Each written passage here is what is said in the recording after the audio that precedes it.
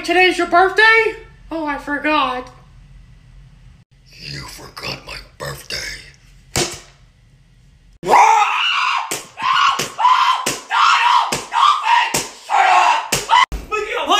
Holy shit! it's a devil. I don't know.